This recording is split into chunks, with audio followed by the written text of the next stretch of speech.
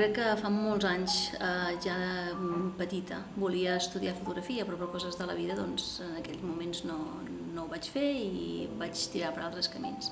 I sense donar-me en compte, doncs, una cosa va portar l'altra i vaig començar amb una càmera a les mans i mira, i aquí estic.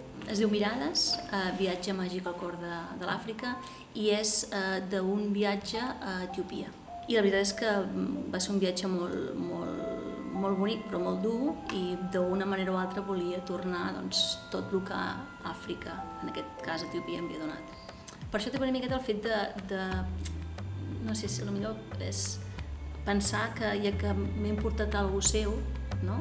eh, tornar-los d'alguna manera o altra. No? És dir, sí que us he robat unes imatges, eh, però no són per, per un benefici propi, sinó és per tornar-ho, a lo millor no amb ell, amb la persona concreta, però sí el seu, en el seu país i poder-ho fer d'una manera eh, sana i neta, vull dir, en, aquest aspecte. I tot el que s'ha anat fent, cada pas que he anat fent ha sigut eh, o sigui, molt pensat, molt, molt, molt, molt mirat i, i, i comentat fins que...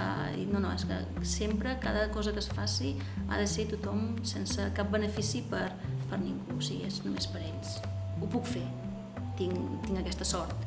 Hi ha molta gent que té aquesta sort de poder-ho fer, però hi ha que tenen el, que ho volen fer, n'hi ha que no poden i n'hi ha que no volen. Llavors, com que jo puc i vull, doncs per mi cooperar és poder-los ajudar d'una manera o altra. I crec que bueno, és una cosa que sé fer, la fotografia, i m'agrada, llavors si puc eh, dedicar el meu temps lliure amb alguna que m'agrada i a sobre puc ajudar, doncs ideal.